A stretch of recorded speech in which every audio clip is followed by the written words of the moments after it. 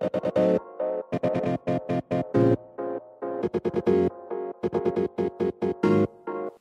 guys, welcome back to my channel. Today I'm going to be doing a review and a demo on the new, well kind of new, Anastasia Beverly Hills um, stick foundations. They came out sometime last year, I want to say around like July or August, but um, I barely purchased this a couple weeks ago, and so I um, want to do a full review for you guys. Um, this is not a first impressions because I have been using this for about three weeks just because I wanted to get a feel for the product and let you guys know what I like about the product and what I don't like about the product. Let me show you what it looks like. I saved the packaging that it came in for the purpose of this video, but I cannot find the packaging, so um, the packaging is just a little black box. It's actually, it's just super clean um, packaging, which is something that I really love about this product. Something that I love about all of the Anastasia Beverly Hills products is just their packaging is like really clean and chic. So this is the stick foundation. It comes in a black tube with the brand name and then a little gold in the middle and when you open it, it is gold inside, which I love because I love all things gold. Um, and then you just roll up your foundation like a lipstick. So the store that I went to only had about eight shades of foundation. And it was just like a little, um, not a kiosk, but just like a little section in the make Macy's Macy's makeup department. Um, I forgot the name of the store, but it only had about eight shades, and I was really disappointed about that because I thought that um, they only made eight shades, and that's like one thing that makes me really mad about foundation is that they don't make shades for everyone and I don't understand why.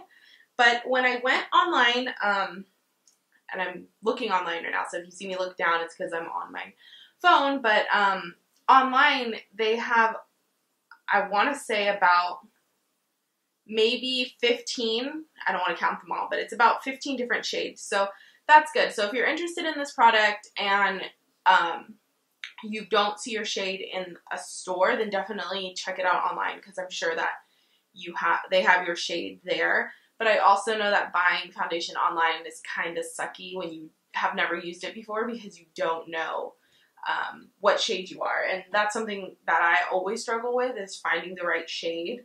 Um, so I always get people to help me, but this was the first time that I picked out my own shade, and I think I did a really good job.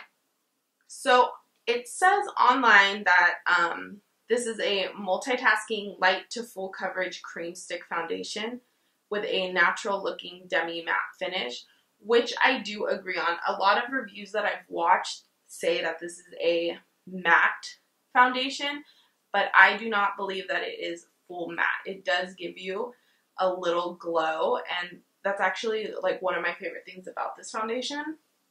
Um, because matte foundations, I just feel like sometimes they just feel like you have glue on your face or just, they're sometimes a little bit heavy. So one thing that I do love about this product is it's not a full matte. It's a demi matte, semi matte. Um, and then everybody recommends that this product is for people with oily skin or combination skin, which I do agree. I think if you have dry skin, definitely stay away from this product because it's going to show every dry patch that you have on your skin. And if you have combination skin, so dry in some areas, oily in others, definitely put on a really good moisturizer before you use this product because this does catch on to any dry patch that you have. So let me get into the demo and then I will come back and let you know what I like and dislike about this product. I've already applied my moisturizer and primer to my skin. So what I'm doing now is swiping the foundation across my forehead, the bridge of my nose, under my eyes, and my cheeks. I wanted a heavy coverage, so that's why I'm applying quite a bit amount of product.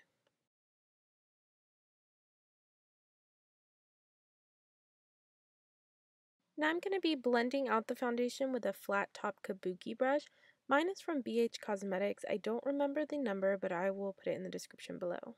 Also, don't forget to drag the foundation down your neck so everything blends well. Also, I forgot to mention that if you wanted to sanitize your stick foundation since you are applying it directly on your skin, I would suggest cleaning the top of it with a makeup remover wipe after every use.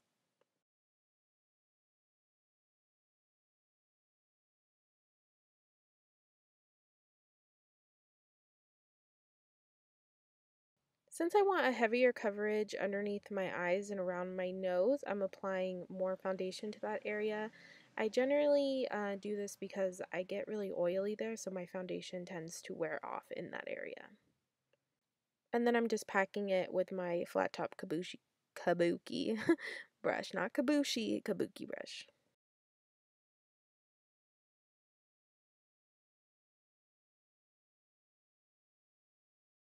So now I'm going to be taking my loose powder and just applying it on top of that um, foundation to set everything and I'm just using a big fluffy brush.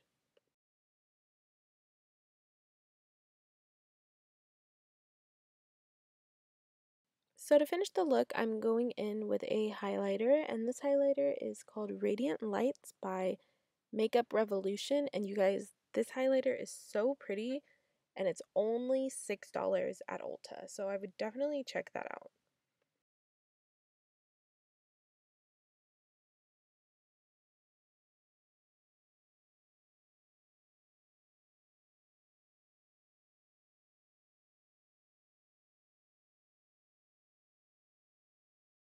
So let me get into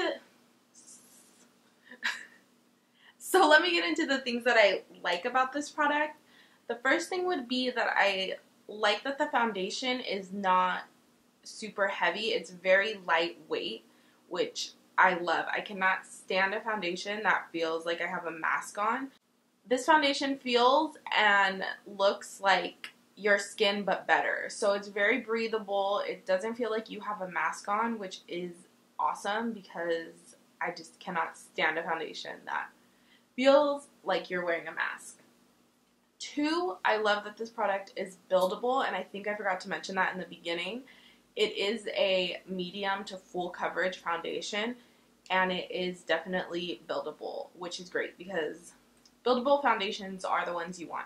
In the demo, you saw me um, apply my first layer of foundation, and then I went back under my eyes and around my nose with more foundation. Um, so I like to build it a little bit heavier under my eyes and around my nose just because that's usually where product wears off on me because I do have oily skin and I get really oily in this area. So I love that you can build this product.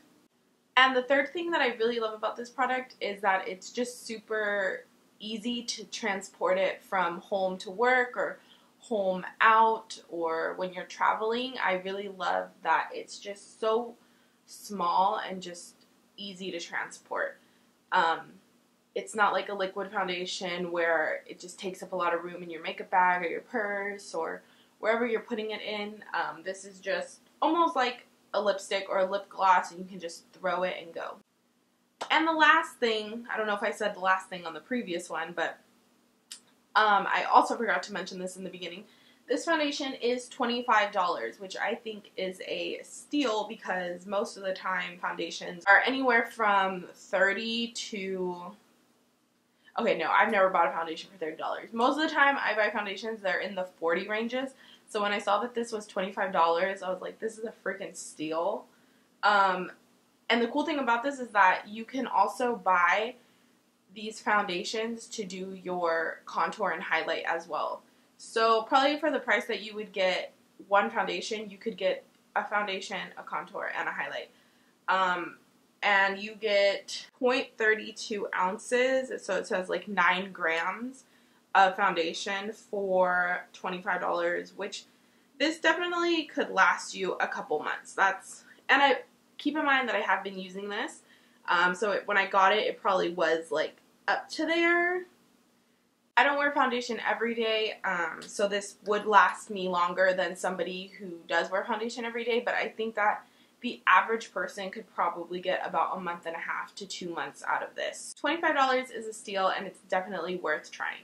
Okay, so the things that I didn't like about this product, or that I don't like about this product, Um, it's not a lot because I do think that this product is a great product, but one thing that I hate, and it's not just this product, it's every foundation I've ever used.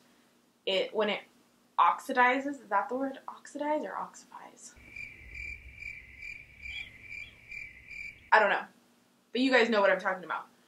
When that happens, it gets all like uh I don't know how to describe it. Like it wears off right here because that's where I get the most oily. When I get hot, that's where I get sweaty. That's where my oils come out.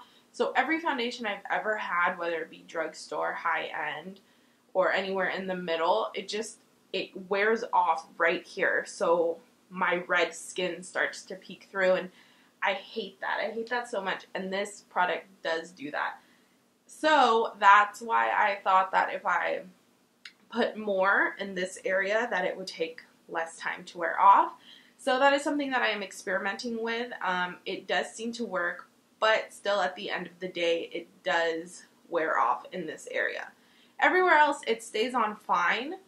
Um, I wore this when I went on vacation last week and I walked around all day for probably eight hours, nine hours.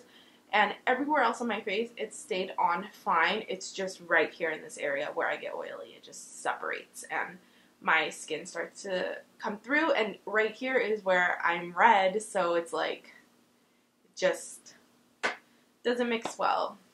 I have yet to ever find a foundation that doesn't do that for me.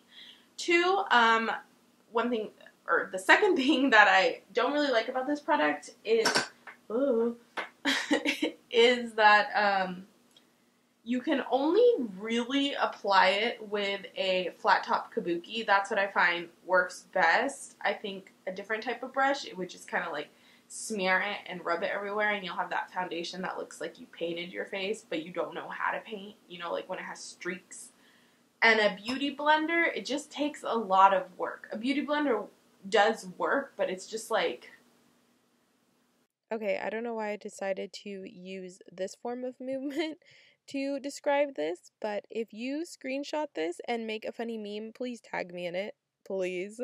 Ain't nobody trying to get a shoulder workout first thing in the morning, you know, so you gotta really like buff it with the beauty blender. So I don't like that it's not like easily blended by everything. Um, but it's not that big of an issue because a flat top kabuki, pretty much everyone has it, you know, so other than that, I can't think of anything that I don't like about this product. Um, those are just the main two things that I don't like about this product is that it separates and that you can't apply it with every type of brush. Um, overall, I think that this is a great product if you do have oily skin, uh, combination skin as well. It's definitely worth the it's definitely worth a try because the price is right. I would definitely recommend this product. Try it out for yourself and let me know how you like it if you do try it out. And also, if you guys know of a foundation that won't separate my skin right here, not my skin, my skin from the foundation right here, please let me know because I would love to try it out. And like always, thank you for watching and don't forget to subscribe and let me know what type of videos you would like to see in the new year. Alright, hope you guys are having a great day, and I'll see you next time. Bye!